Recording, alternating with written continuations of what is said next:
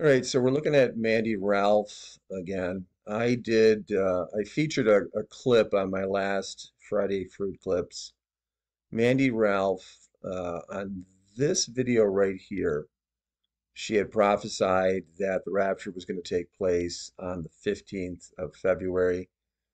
Look at the views here 25,000. She's then done a couple of updates.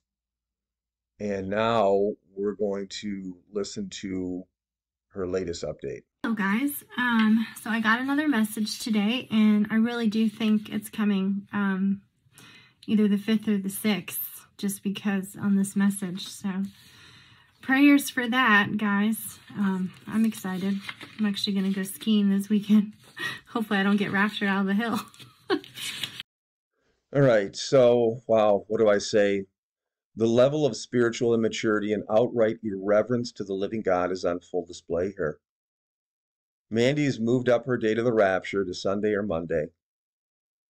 Now, the first thing I would like to say, or, or the people that I would like to address, would be mature Christians and or the mature men, the mature women, who are even paying heed to this novice social media child of the devil. Shame on you.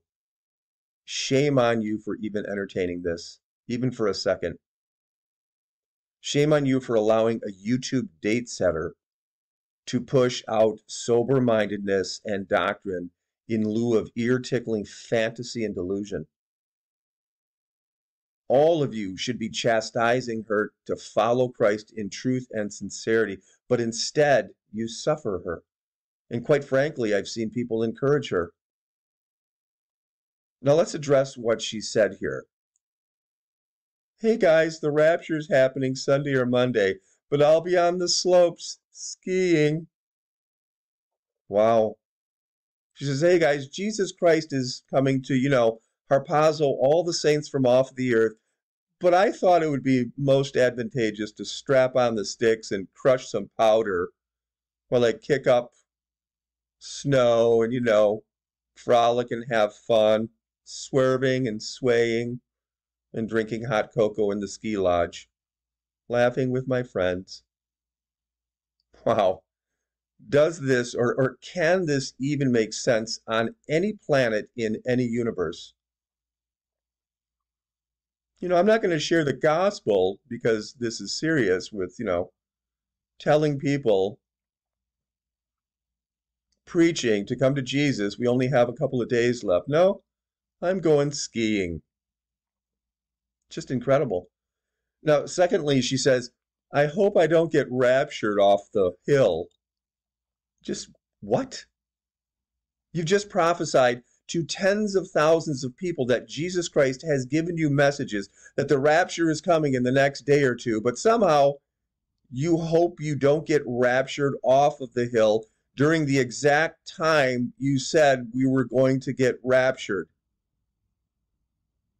it's just unbelievable.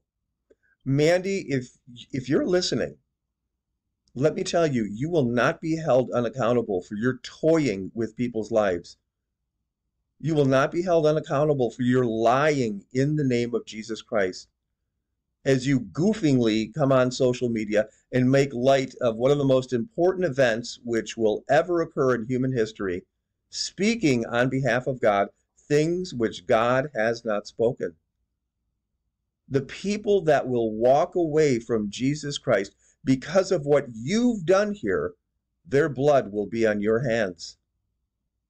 For you, you've decided that playing games with such matters is just, you know, harmless speculation.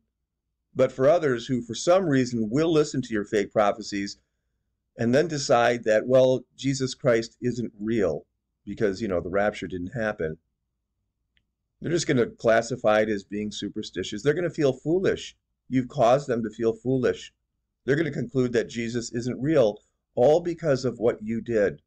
And they're going to walk away from Jesus forever because of you, Mandi. You're destroying lives with your lies, and you're doing it in the name of Jesus Christ. You will not be held unaccountable. Now, let me show you, for maybe some of you who have slipped out of reality. Let me show you the truth. In Matthew 24, verse 36, Jesus says, But of that day and hour knoweth no man. No, not the angels of heaven, but my Father only. But somehow you've believed in your minds that Mandi knows. Well, this, this doesn't apply to Mandi. She's discovered. Jesus gave her new messages. The angels don't know. And at that time, Jesus didn't know. But Mandi knows. An obscure YouTuber who gets all tickled and excited and reads a bunch of verses, uh, verses from the Bible that don't even apply to what it is she's trying to sell you. She knows, and you believe her. Unbelievable.